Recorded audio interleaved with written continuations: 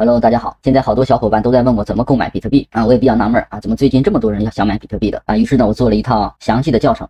那么咱们重点来说一下啊，如何百分之百安全的购买比特币。如果你是新手，第一次接触数字货币的话，也不用担心，这个教程呢是零基础的入门必看教程，新手小白也可以理解学会。在接触数字货币之前，我给大家做一个高能警告：币圈的骗子和骗局非常的多。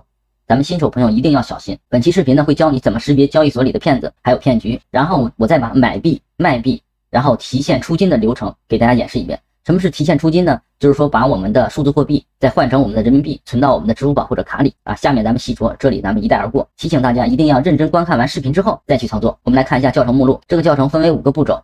第一步是怎么注册交易所账号。第二步呢，我们要在手机上。安装交易所的 APP 啊，用来我们方便我们的操作。第三步，我们要对账号的安全进行一下设置啊，这一步非常重要。下面呢就是如何购买 USDT。最后，我通过实战演示的方式，把买币、卖币、提现出金给大家演示一遍。第一步呢，我们需要注册一个 OE 交易所的账号。为什么选择 OE 交易所呢？我们来看一下这个表格，三大交易所分别是 OE、币安和火币。目前呢，只有 OE 交易所才支持大陆用户注册，币安和火币已经不支持了。另外呢，手续费也比较低。啊，大家可以通过这个表格很清楚的看到每个交易所的对比情况，我就不进行过多的讲解。下面咱们开始注册，注册方法呢也十分简单，我会把注册链接放到视频下方，直接复制粘贴就可以了。这里呢重点要给大家说一下，为什么要用下面这个链接？因为使用这个链接注册的话，你会终身减免百分之二十的手续费啊，是非常划算的。打开链接后，直接到达注册页面，我们填写手机号或者是邮箱都可以进行注册，填写上之后。然后点击领取盲盒，它会给我们发送一个验证码，填写上去就可以注册成功了，非常的简单。现在呢，官方有一个活动，注册完成它会奖励一个盲盒。当然了，它这个说的肯定比比比较多啊，一般情况只能开出来几十块钱吧。啊，具体的话要看运气啊，你可能运气好，说不定你能开出这么多，对吧？第二步呢，我们需要在手机上安装 OE APP，安卓手机的话安装起来还是比较方便的，直接从官网扫码下载就行。我们来看一下，在官网的右上角。这里有一个向下的箭头，大家可以看到我箭头指的这个方向。我们把鼠标移动上去之后，它会弹出一个二维码，直接拿手机扫码下载就行了，非常的简单。咱们重点来说一下苹果手机怎么安装，因为国内的苹果应用商店里没有 OE APP 啊，你是下载不了的。所以说呢，我们需要先准备一个海外的苹果 ID。这个海外 ID 怎么获得啊？我们来直接通过百度搜索购买苹果 ID 啊，使用谷歌也可以啊，里面有很多都是卖账号的啊，直接可以从他们那买一个就行了啊，好多都是啊。基本上一搜一大堆，有了账号之后呢，我们就需要把第三步，我们对交易所的账号进行一下安全设置。在登录 APP 后啊，不要着急买币，一定要先设置好安全信息。这里呢，我们需要完成两步操作，第一步叫身份认证，第二步叫安全设置。下面大家跟我一步一步进行操作。打开 APP 之后，我们点左上角，这里有身份认证。在身份认证里面啊，分为基础认证、高级认证和视频认证。我们呢，完成第一项基础认证啊，就可以进行买币了。啊，如果你以后的交易量大啊，你可以把这个高级认证啊进行一下认证。然后我们返回一下，看下面的安全安全中心，安全设置里面呢，它有四种选项供我们选择，有谷歌验证器，有邮箱验证、手机验证，还有防钓鱼码。我呢选择的是邮箱和手机啊。这里呢，大家根根据自己的情况啊进行选择啊。有的人喜欢用谷歌验证器的啊，就把这个打开。到这一步，我们的前期准备工作啊就已经完成了。第四步呢，我们就需要购买 USDT 了。到这里呢，很多同学就比较纳闷了，什么是 USDT 啊？为什么要买它呢？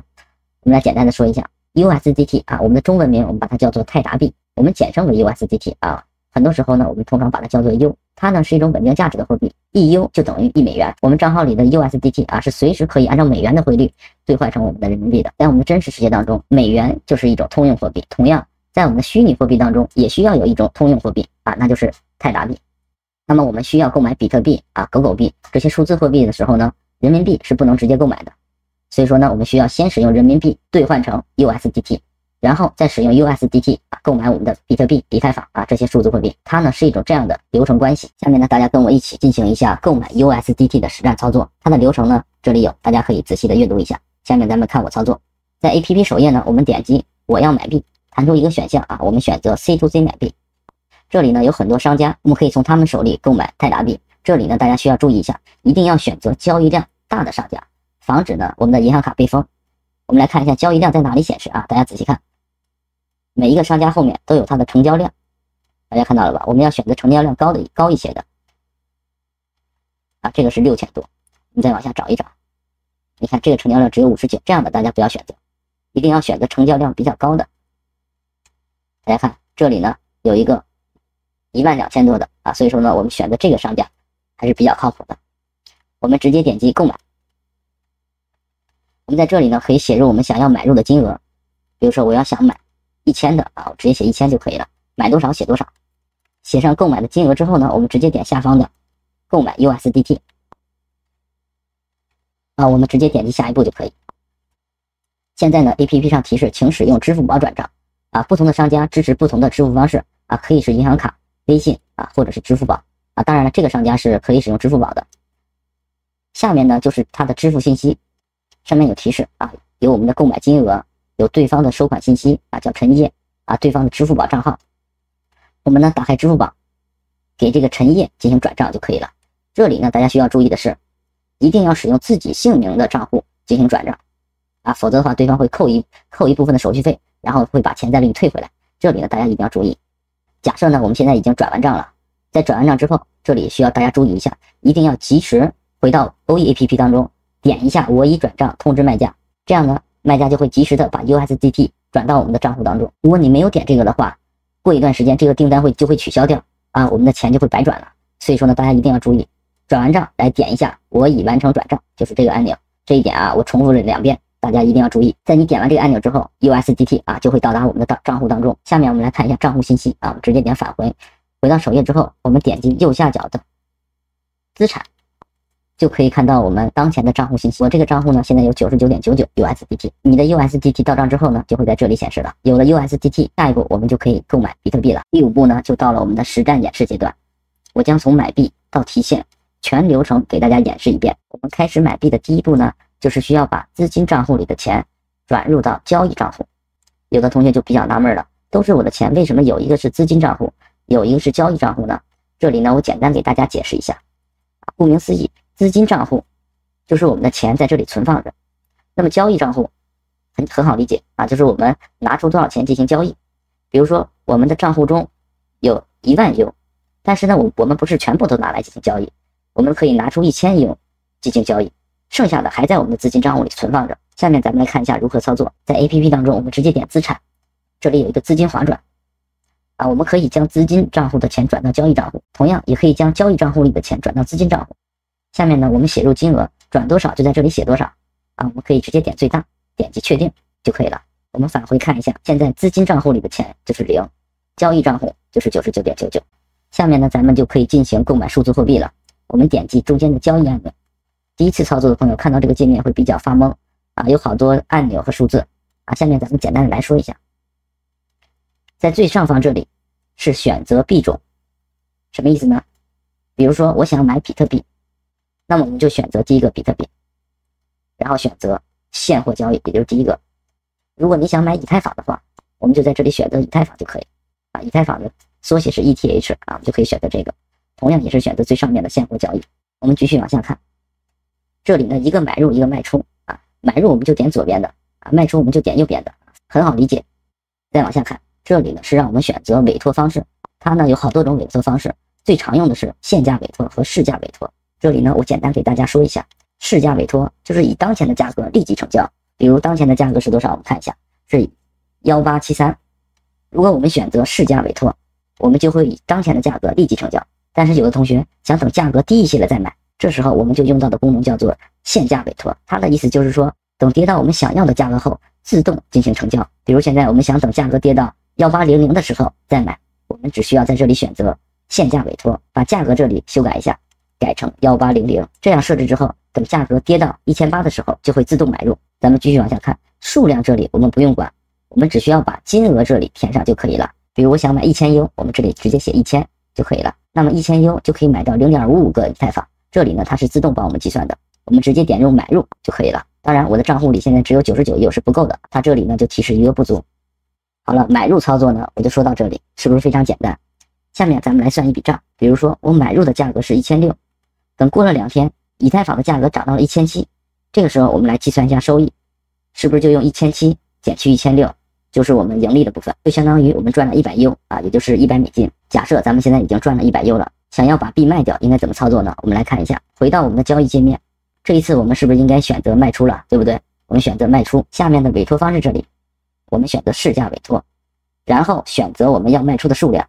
这里呢有一个滑动条，我们可以选择卖出百分之五十，也可以选择卖出百分之百。百分之百的意思就是说把我们持有的所有数字货币都卖出。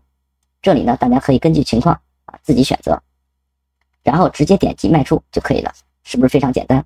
最后呢咱们来说一下如何把赚到的 U 提现到银行卡。支付宝或者微信啊，这三项都是可以的。首先呢，第一步我们需要设置一个收款账号，这个收款账号可以是银行卡，也可以是微信啊，或者是支付宝。下面大家看我演示，打开 APP 后，我们需要在我要买币这里设置一下收款账号，C to C 买币，选择右下角我的，这里有一个收款账号管理。我们进去之后，需要在右上角添加一下收款账号，可以是银行卡、支付宝、微信都可以，这个呢大家自行选择。添加好账号之后，第二步我们需要从 OE 里挑选一个可靠的买家，在 APP 里选择我要买币。有同学会比较纳闷啊，我们不是要卖币吗？怎么要进买币呢？这里呢，买币和卖币是在一个板块，C to C 买币。进来之后，大家可以看到，这里一个购买，一个出售啊。我们这一次呢是选择出售，在出售列表这里呢有非常多的商家，我们怎么选择呢？第一步我们要看它的成交量啊，这个是一万一，这个是两万，下面这个是五千，所以说呢。我们优先选择一万二的这个商家，这是第一步。第二步呢，我们要看商家的注册日期。这个商家呢，他是二二年十一月成为商家。我们换一个看法。好，这个呢，大家看，它是二零二三年四月份刚刚成为商家的。所以说呢，我们要选择一些比较老的商家，也就是说注册日期比较久的，像刚才这个就不错。浩宇商行啊，一万二的这个就不错。注册时间也够久，然后呢，成交量也非常高，像这样的商家就是比较靠谱的。下一步我们直接点击出售，在这里写上出售的数量，然后点击出售就可以了。我们来试一下，我写一个两优然后点击出售，然后出现一个确认窗口，我们直接点卖出。这个时候买家那里就会收到订单信息，我们呢只需等着他给我们转账就可以了。一般情况呢只需要两分钟，等他给我们转账之后，我们的界面就会变成这个样子，买家已付款。这个时候大家一定要注意，千万不要点击我已收到付款。这时候你需要干什么呢？你需要登录到你的支付宝或者银行卡里，查看一下是否到账。等确认无误之后，再到 APP 当中点击“我已收到付款”，点击这个按钮之后，你的 USDT 就会转到对方的账户当中，就完成了。我再给大家强调一下，在卖币的时候，一定要亲自登录银行卡或者支付宝，查看是否到账。到账之后，再来点击这个按钮“我已收到付款”。这里呢，大家一定要谨慎，因为你只要点击这个按钮，USDT 就会转到对方账户当中。这个呢，就像我们淘宝买东西的时候确认收货一样，所以说呢，大家一定要注意。到此为止呢，我们的入门实战教程就已经结束了。大家有任何问题呢，可以到视频下方进行留言，我会给大家一一解答。想要了解更多币圈知识的小伙伴，可以关注我的频道“炒币大师兄”，每天都会给大家分享最新币圈资讯。好，谢谢大家的观看。此前两年连遭美超风重创的火电股，在二零二三年迎来业绩大翻身。一月三十日，电力股震荡拉升，赣能股份零零零八九九，SG 深南电 A 零零零零三七，SG 双双涨停，杭州热电六零五零幺幺，SH 宝兴能源零零零六九零，SG 浙能电力六零零零二三，SA 等跟涨，赣能股份一月二十九日晚间公告。二零二三年预计实现归属于上市公司股东的净利润达四点三亿到五点三亿元，同比增长百分之三千九百三十八点一七到四千八百七十七点二七，扣非净利润同比增长百分之一千二百七十点九七到一千五百七十三点一八。业绩变动的主因是其所属丰城发电厂七十八机组本期正常商运，公司火力发电量及营业收入大幅增加，同时燃料成本较上年同期有所下降。赣能股份主营业务包括火力、水力及新能源发电。从生产经营数据看，该公司所属电厂2023年度实现上网电量159.49亿千瓦时，同比增长69.20%，其中火电发电量增幅最大，同比大涨71.64%，水电发电量同比下滑6.55%，光伏发电量增长57.14%。净利高增由上年同期基数较低所致。二零二二年煤炭价格高位运行，赣能股份净利润仅一千零六十四点八四万元。二零二一年的全行业煤电价格倒挂之下，该公司亏损二点四八亿元。燃料成本下降和用电需求攀升也对能源、金融双主业的江苏国信零零二六零八 SG 利润贡献颇丰。江苏国信披露，预计二零二三年实现规模净利润十八点三五亿到二十二点七五亿元，同比增长百分之二千五百九十一点六七到三千二百三十七点零九。业绩预增原因包括金融板块经营发展稳定，收益持续增长，煤炭价格回落，能源板块加强燃料管理，利润贡献进一步提升。粤电力 A 零零零五三九 SG 同日发预音，二零二三年预计实现规模净利润八亿到十二亿元，较二零二二年的巨亏二十九点八亿元扭亏为盈。粤电力 A 解释称，二零二三年公司各主要电源类型上网电量均实现同比增长，营业收入大幅提高，其中气电、风电、光伏电量显著上升。煤炭市场价格回落，煤电业务边际收益改善，受益于电力需求高增长，煤价中枢下移。万能电力零零零五四三 SE 二零二三年预计实现规模净利润十三点一亿到十五亿元，同比增长百分之一百六十一点八四到一百九十九点八二。近期多家电力上市公司公告业绩预喜。据澎湃新闻梳理，上海电力六零零零二幺、SA 深能股份六零零六四二、SA 等预计去年规模净利润同比大涨百分之二百以上。浙能电力六零零零二三、SA 深南电 A 等扭亏为盈。截至目前，五大发电央企旗下主要上市电企正未公布去年成绩单。但澎湃新闻注意到，各发电集团日前召开的二零二四年工作会议已给出预告。华能集团发布的消息显示，二零二三年全年发电量、供热量、煤炭产量等关键生产指标、利润、净利润、规模净利润、经济增加值等主要经营指标，以及新能源开工、投产等绿色发展指标，均创公司成立以来最好水平。其中，火电实现扭亏为盈，煤炭利润再创新高，新能源盈利占比近五成。据澎湃新闻梳理，华电集团二零二三年经营发展绩效创出历史新高，全年利润总额同比增长百分之五十六点八。大唐集团去年产量指标创历史新高，经营指标为历史最好，发展指标达历史最优。国家能源集团多项生产经营指标再创历史最好水平。国家电投集团营收利润、规模净利润均创历史最好水平。围绕着芭比受到奥斯卡评为冷落、旁落最佳导演和最佳女主角提名所引起的舆论哗然，持续多日都未平息。从该片的演职人员到媒体，再到吃瓜的好莱坞名人以及普通网友，纷纷加入嘴仗的大军。导演格雷塔·格维格佐和主演马克特·罗比在芭比在首映礼对话环节上，希拉里为芭比鸣不平。在芭比的支持者看来，这么一部彰显女性意识、符合时代精神的优秀原创作品的创作团队中最绝功至伟的两位女性，竟然都没能获得提名。事实上，导演格雷塔·格维格凭芭比拿到了最佳改编剧本提名，马格特·罗比也因为芭比制片人的身份拿到了最佳影片提名。实在是女性主义在二零二四年奥斯卡上的大溃败。另一方面，偏偏这部电影里的男性演员瑞恩·高斯林拿到了最佳男配角提名，就更让不少芭比粉丝气不打一处来了，谴责这是好莱坞男权至上的鲜活例证。芭比剧照获得最佳女配角提名的片中演员亚梅丽卡费雷拉表示。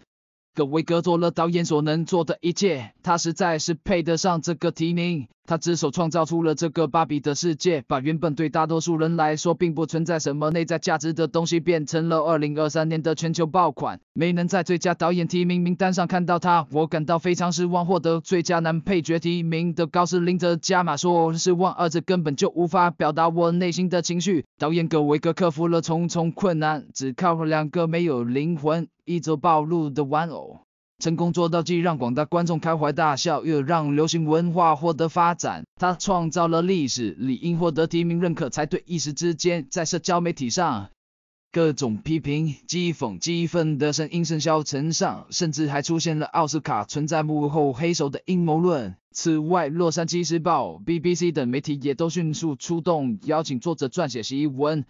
而专门研究芭比玩偶文化史超过四十年的加州大学洛杉矶分校的洛德副教授 M.G. Lo 也公开表示，两人的落选充分说明现在的美国社会仍是男权的天下。负责提名最佳导演奖的学院导演分支主要还是一些老白男，看不上葛维格是再正常不过了。芭比剧照批评声中最具典型意义的，或许要数前第一夫人和前美国国务卿希拉里·克林顿。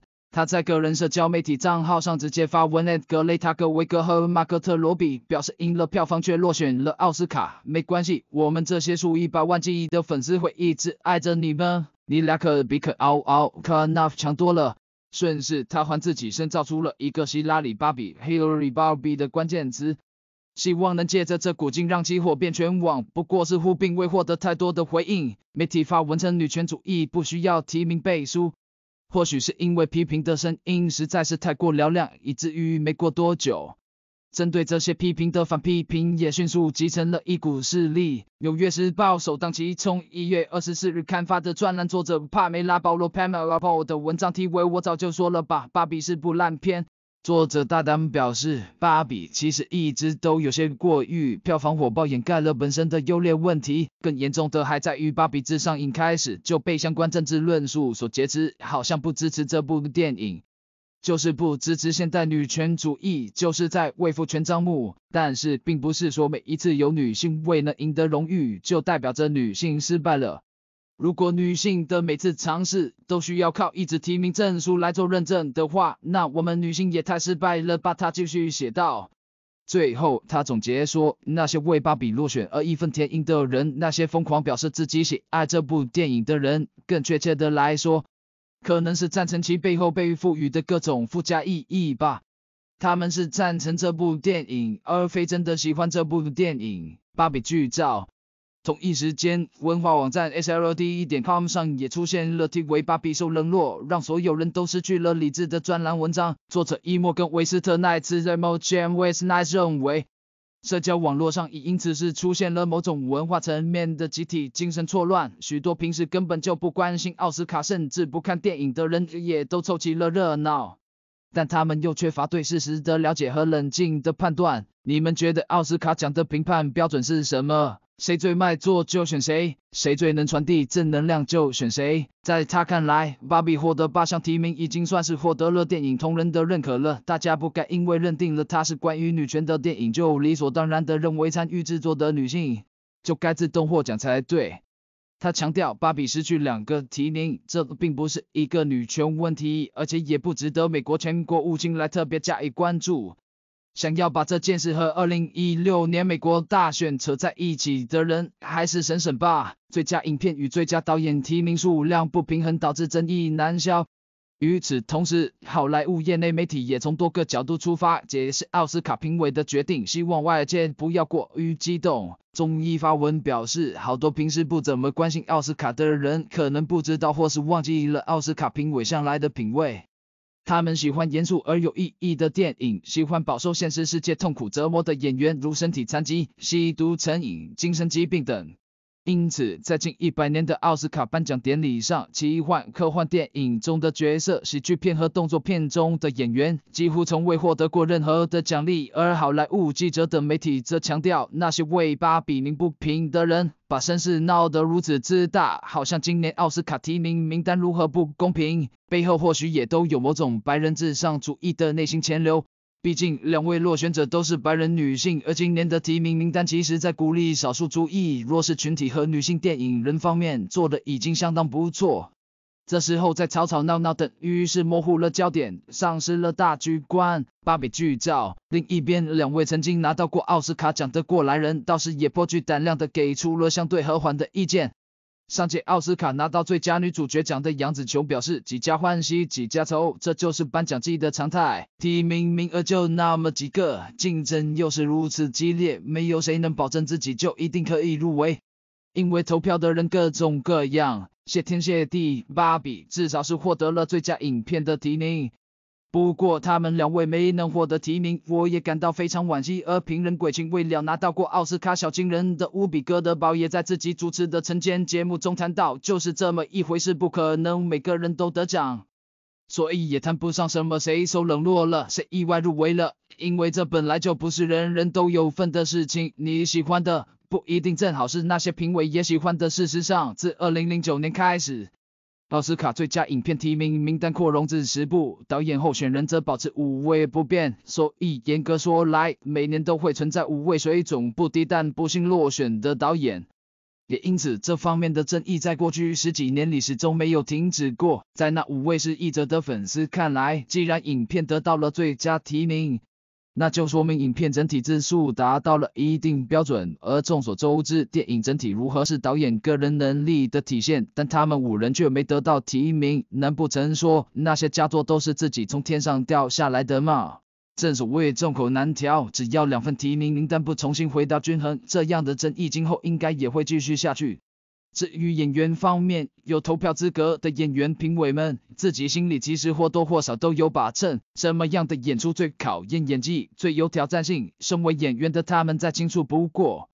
也因此，奥斯卡评委却是一贯轻视喜剧片、动作片、科幻片里的同行。